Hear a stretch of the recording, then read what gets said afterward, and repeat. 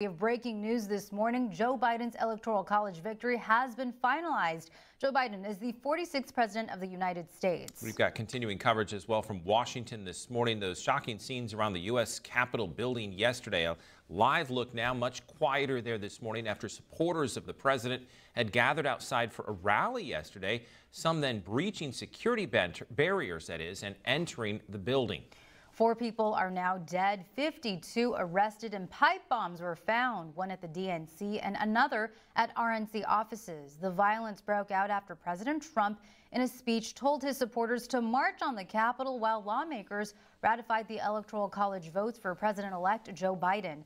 Pro Trump rioters forced their way past law enforcement and terrorized the U.S. Capitol building before they left, largely without being detained by police. Hours later, the president urged those protesters to go home.